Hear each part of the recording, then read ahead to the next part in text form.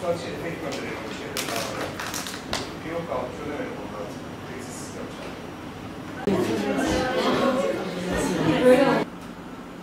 Anılara mücadelemize olun.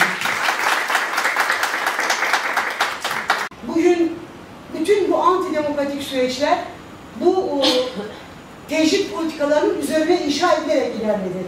Yani bugün İmran Adası'nda Sayın Öcalan'a ilişkin uygulanan tecrit kadınlara, gençliğe, gençlere, topluma, emekçi sınıfına, kadınlara, bütün kesimlere, bütün toplumsal kesimlere bir tecrit politikası olarak inşa edildi ve bu inşa süreci bugünkü hükümet tarafından da devam ediyor.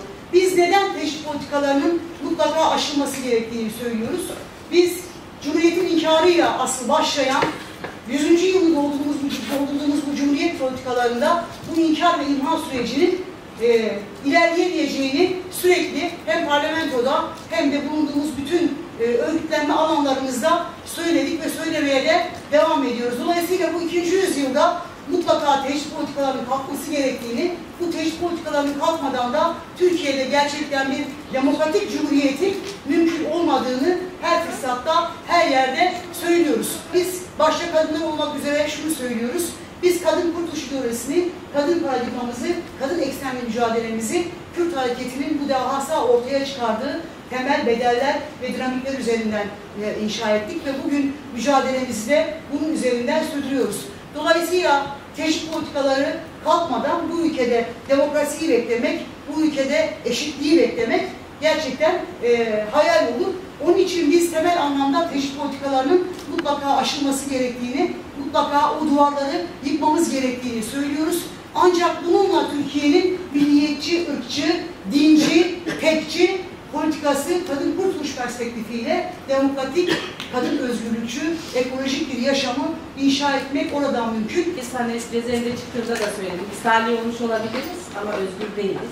Ama en önemlisi Aytun Eval de söyledi. Bu e, Kürt halkının Türkiye demokrasi güçlerinin önünde hep cezaevleri olmak durumunda. Çünkü Kürt halk önderi Sayın Abdullah Öcalan İmralı cezaevinde İmralı işkence sistemi var olduğu sürece biz bunu konuşmaya devam edeceğiz. Bu sistemi yıkmadığımız sürece de Türkiye'de gerçek anlamda bir demokrasi, barış mümkün değil.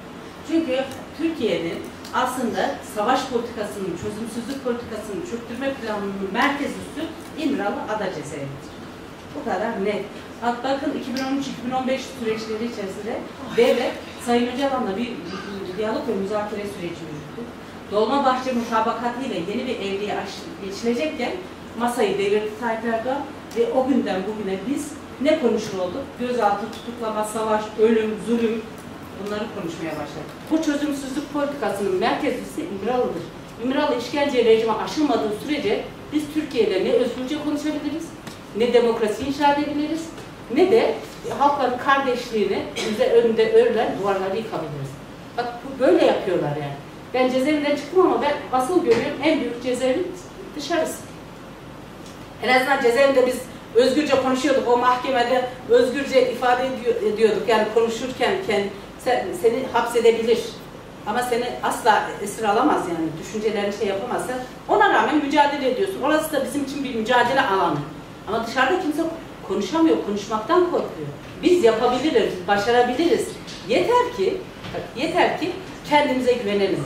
Yeter ki kendimize, e, kendi değerimizin farkında olalım.